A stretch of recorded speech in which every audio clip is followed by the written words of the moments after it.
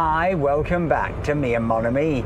And today we've got something a bit different for you because we are headed in to Monaco and we are going to, um, well, we're going car spotting, but no, we're not going super car spotting. We're not looking for the uh, giant SUVs or the million pound Ferraris. Instead, we're going spotting electric microcars.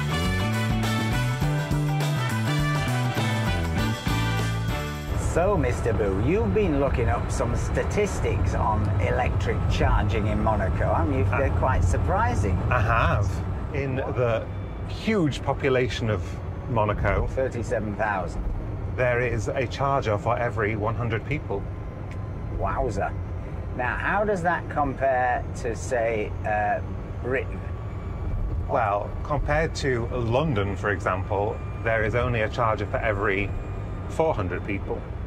Right, so it's a quarter, so they're four times better off in, in Monaco. Well, not just, I mean, they're, probably a lot more than four times better off financially. Monaco has um, really, from a, a, a long time back, been a very sort of green principality. I think it became a bit of a mission of uh, Prince Albert to try and decarbonize the place, which you know is a bit ironic given how high rise it is and given how many insane fuel guzzling supercars exist there. And you will see those today, don't worry. But th- their ambition is to decarbonize, I think to be carbon neutral by 2050. Um, and you know, very early on, um, 10, 15 years ago, they were installing electric bikes there for public use, weren't they? Uh, and electric chargers at the side of the road, really, before people had electric cars.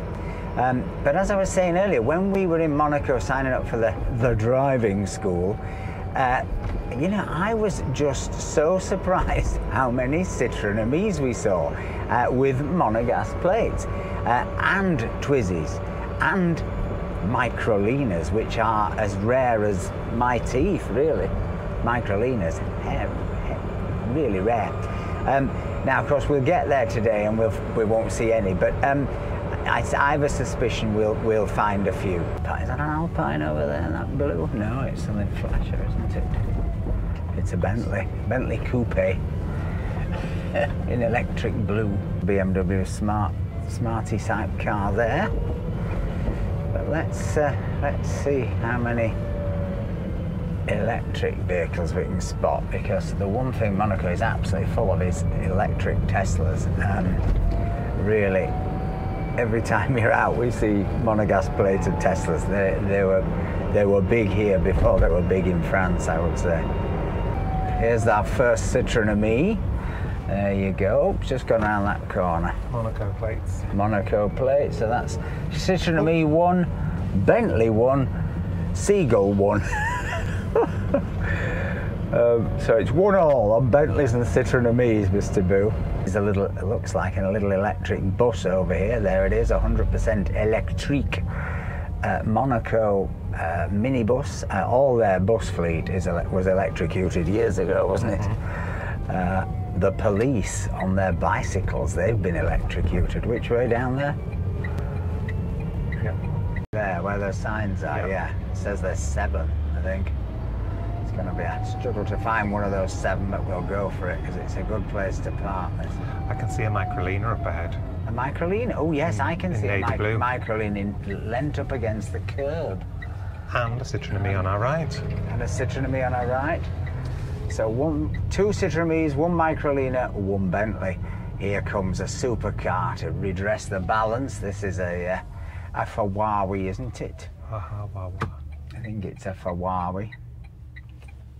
So you're gonna let us go? Merci beaucoup.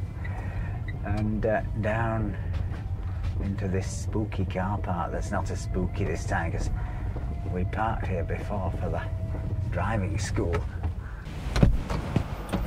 Capacity stuff in here.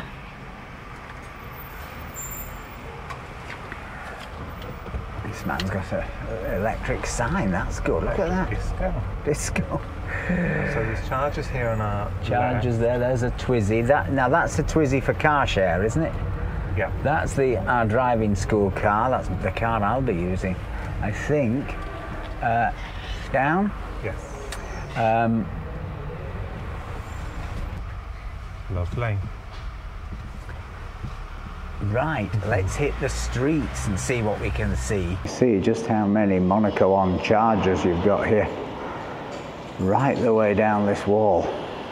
There's somebody with a Citroen Ami on charge. The car rental car share scheme. Twizzies for car share. And just to prove, this is how we discovered this company because they were in Villefranche giving somebody a lesson. They actually give lessons in Citroen Amis. This is the police pound for their electric bikes. Look at all the chargers there. Amazing. Fully electrocuted police force. Very nice electric bike shop here. Look at this for a discrete battery that is hidden under the frame. The motor is one of those very small ones in the centre. Much smaller than the one I've got, the old Yamaha. This is RS simulation, smart technology, smart racing. It's like racing car simulators. Oh, there's a Citroen Ami over here. Bizarrely, that Microlina has moved but has been replaced by this Twizy. So you can see just behind me, they're getting ready for the historic Grand Prix, aren't they? Which I love, is the old, uh, incredible old historic cars. And then I think the E-Prix follows that. Is that this year? Yes. Yeah, and then the Grand Prix. See here, you've got a couple of Twizzies uh, into the Monaco on charging system. You've also got an electric scooter here, and then you can see one of the old chargers that's been there for quite a long time. And I think this is this is an electric Abarth. Yep. There's an electric Abarth. very nice.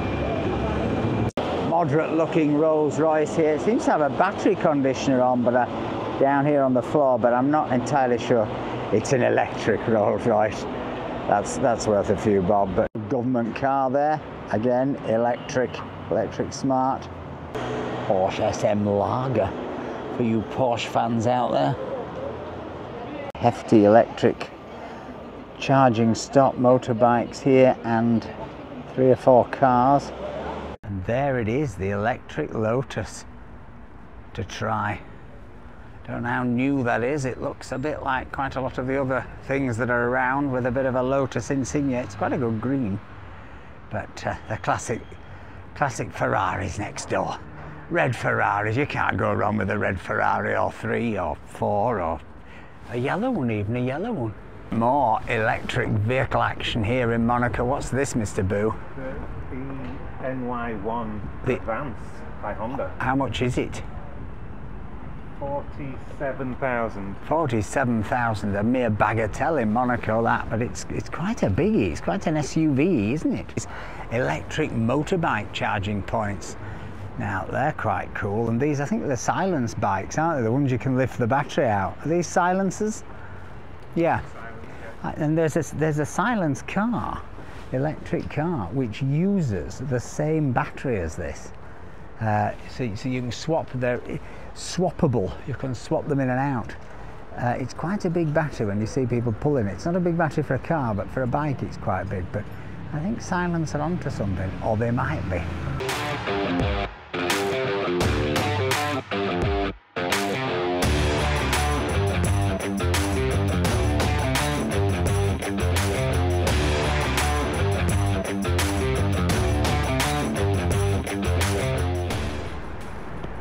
They're electric, but these are beautiful old Ferraris in here. Look at these. Wowza. Worth a bob or two. And look, there's just tons of them. And, and this looks like an old Piaggio or something, uh, but uh, it's electric. So we're now off up towards the casino where we're uh, do a bit of supercar spotting and hopefully find a, uh, a few Citroen Amis or maybe some Microlina. What was that, Mr. Boo? It's called a biro or a biro, like the pen. Oh wow!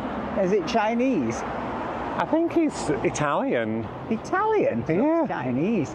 I think I've seen a couple of those around in Monaco.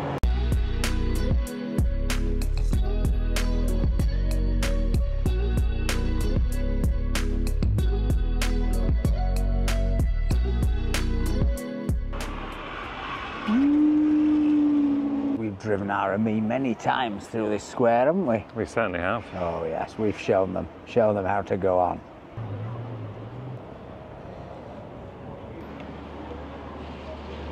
Not much evidence of Citroën outside the Hotel de Paris. Quite a few Maseratis, a mere Peugeot there, and then a few Bentleys, and of course, Range Rovers. Gotta have a Range Rover. You're nobody if you haven't got a Range Rover. So in here you've got a special charging point for electric taxis. Look at that, that's the ID4. There's a lot of Tesla electric taxis I've seen today as well. Just didn't get the camera out quick enough. Another fabulous electric uh, motorbike BMW.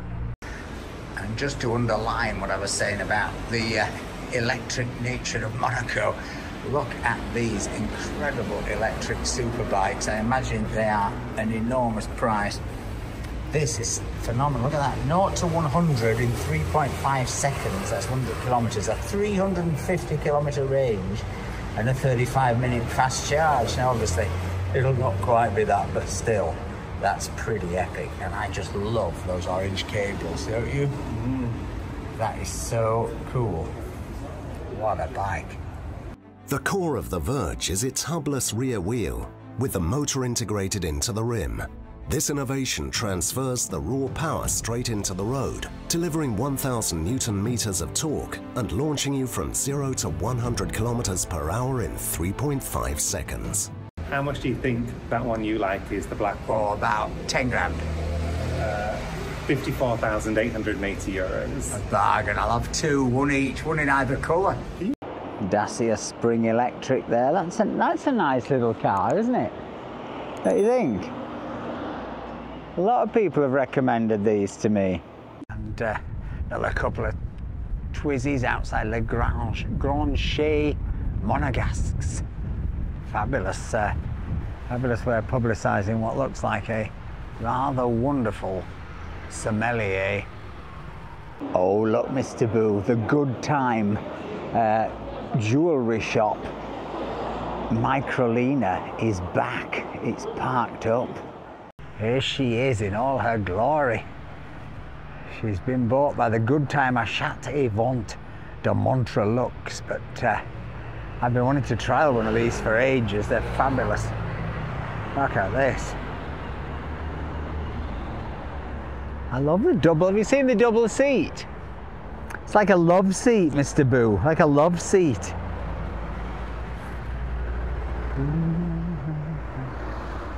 Hard to film because it reflects like crazy. And lo and behold, here's a second Microlina. This is outside the Yamaha garage. Microlinas are us. Look at that. What a cracker.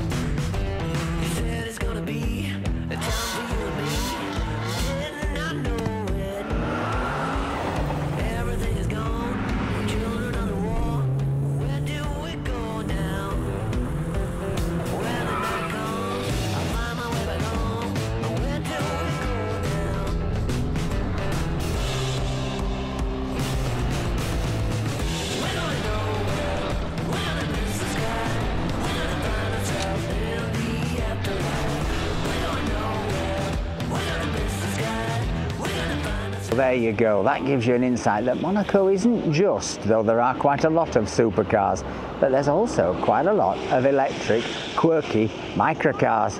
Hope you've enjoyed this video. If you have, please give us a like, please give us a comment, please think about buying us a coffee. It really helps us do these things. But most of all, folks, remember, stay charged. Bye.